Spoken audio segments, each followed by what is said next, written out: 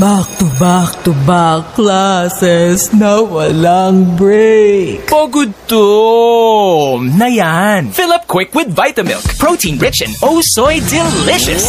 Yes! A plus! Feels good talaga. Vitamilk. Soy fruity and soy delicious. Vitamilk strawberry and banana.